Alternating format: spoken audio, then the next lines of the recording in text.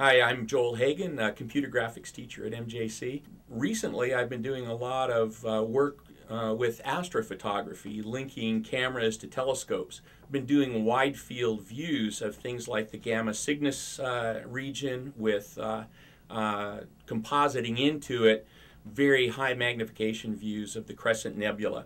Also shooting the Crab Nebula, the Veil Nebula, and other things. Um, it's an interesting uh, way to turn a lot of the Photoshop skills that I've worked with over the years and the kinds of things that I present in classes here at MJC um, to a little bit more unusual use. I also do a lot of work with NASA uh, as an imaging specialist for the Mars missions um, creating panoramas of the surface of Mars, even adding in images of the little Pathfinder rover as it, uh, as it appeared at the end of each day, so you have a sense of scale about the landscape.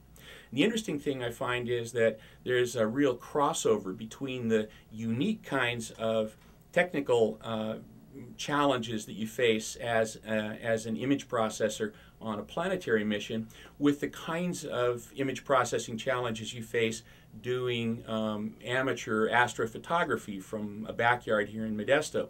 These skills cross over, um, each one sort of informing the other. Perhaps a new solution arising in processing the Veil Nebula that I can reapply to, uh, uh, to processing the images that have been shot recently under the Spirit rover. It's, it's stuck on a rock on Mars. So this, uh, this kind of cross-fertilization is, uh, is, is very useful. And these are things that I bring into the classroom with projects for the students. Over the last few years, I've been doing a lot of um, design and animation for uh, television shows, things dealing with uh, with astrobiology, with the search for life on other worlds. Um, it's very interesting to me because it, uh, it's a chance to actually turn my artistic skills and my background as a NASA imager and my, you know, the, even the work here I do at MJC toward trying to create sort of informed speculation about what life uh, off planet might be rather than just sort of fantasies uh, about the way things you know, it could be with monsters and aliens and so on. Uh, the little animation that's even running in, on my monitor right now is one that was done recently for uh, National Geographic uh, channel. And I did a whole series of these things. Uh, this represents uh, uh, life forms on an acid planet with a heavily acidic atmosphere. And I did a lot of other things for that show too as you descend through the atmospheres of gas giants, seeing sort of floating life forms of various sizes. So uh, that work and work that I've done for NHK in Japan, BBC, PBS here, and the Discovery Channel, and so on.